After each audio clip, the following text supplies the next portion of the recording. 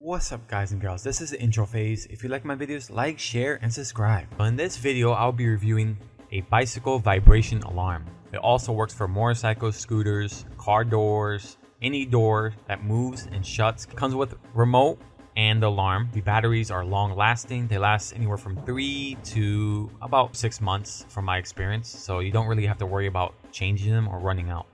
As you can see, the controllers have a button on top to lock it, another button under it to unlock your bike alarm so that when you shake it, it doesn't go off. The alarm function to test out the alarm and another button to change the alarm sound. They're actually as loud as a car alarm. To attach these alarms, they use zip ties, but I really don't like that because thieves can actually steal your alarm. But in the next video, I'm going to show you how to theft proof the alarm itself so they cannot take it out.